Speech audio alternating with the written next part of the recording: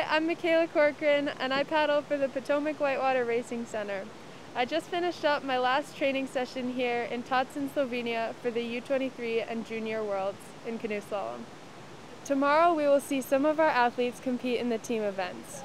Then there will be heats on Wednesday and Thursday. Those that make it through heats will be able to compete in semifinals and hopefully finals on Friday and Saturday.